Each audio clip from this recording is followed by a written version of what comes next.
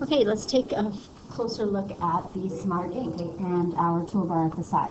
So you'll notice that you've got the little arrow there, and we can make it bigger or smaller. I'm just going to take a look at this toolkit right here. So if we take click on the little toolkit, it will open up at the top.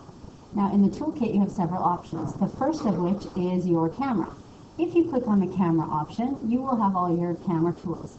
The very same as we do up at the top of the board, in the toolbar at the top. Um, if you click on the A, you will have all of your text features. So this is the text pen. So again, if you were writing, you would be able to edit your writing right here. Finally, you have the stamp, and this is a new feature. Um, the stamp pad works as um, just like this. So if I click on whichever stamp I would want, I click on my board and I am making that stamp. Okay, so um, you can make happy faces, sad faces. The standard stamps are all there.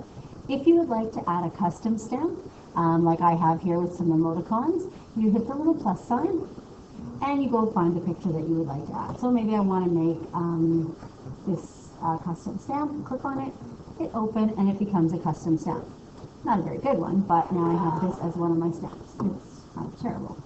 Um, so that's the stamp pad option. The last thing that I want to show you is the favorites, and that is the star. You are um, given, I think it's five favorites that you can have, and they will show up even when you close your little toolbar here at the side. The little arrow that is right here will allow you to close your toolbar. So if I click on that, it will close. And these are your favorites.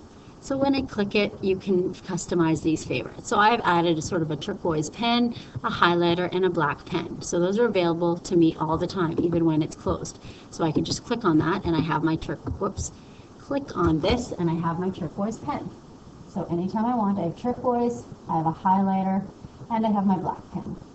Now, if I wanted to add some new custom features there, I would click on the star and I would hit the plus and I can pick whatever I want it to be. If I want it to be the text pen, do I want it to be a green pen that perhaps is fatter and maybe it ends in an arrow.